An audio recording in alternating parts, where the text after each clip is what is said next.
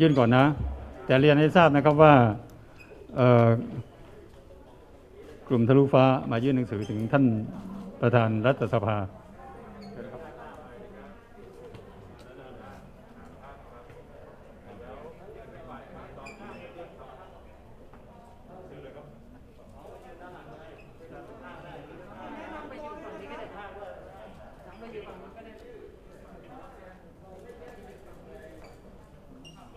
Okay.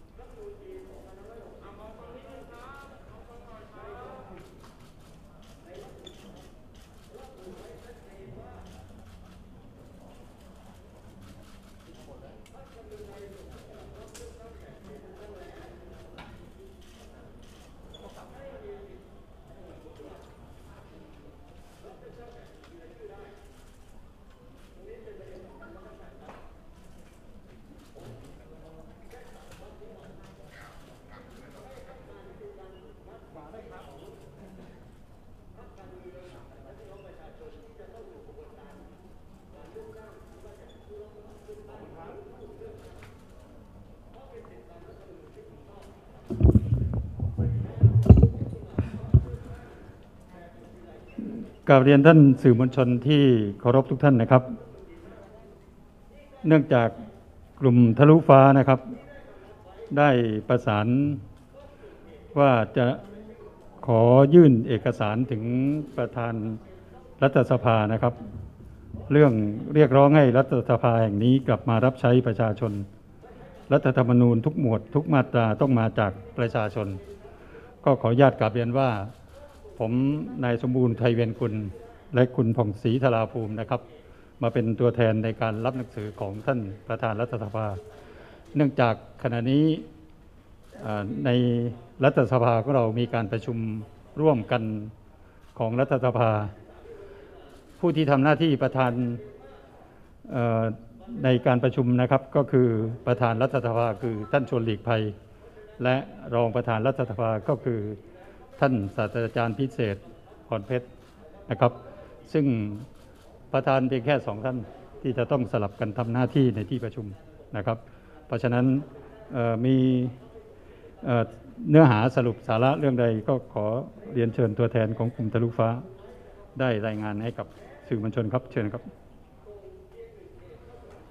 ครับผมก็ผมไดโนทะลุฟ้านะครับ ก็วันนี้นะครับที่มายื่นหนังสือให้สภาผู้แทนราษฎรนะครับ ผมก็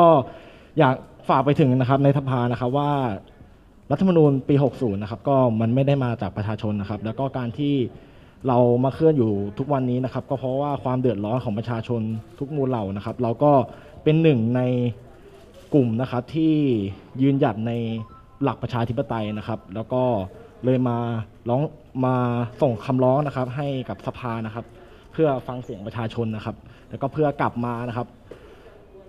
แก้ไขรัฐธรรมนูญนะครับ ที่เป็นของประชาชนนะครับ ก็มีประมาณนี้ครับ ขอบคุณมากนะครับ ก็ผมจะนำหนังสือดังกล่าวนะครับ เข้าไปกราบเรียนท่านประธานรัฐสภา ก็ขอเรียนนะครับว่าที่นี่ก็เป็นที่ของประชาชนนะครับ ผู้แทนของประชาชนก็มาทำหน้าที่ที่นี่ แล้วก็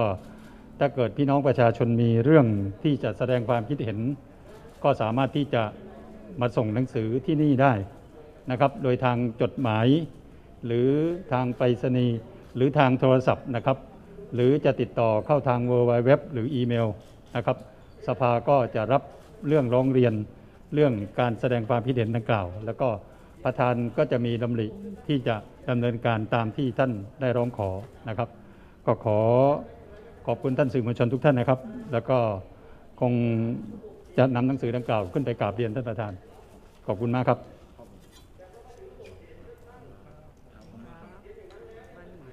เรียนอยู่ที่ไหนมาเรียนอยู่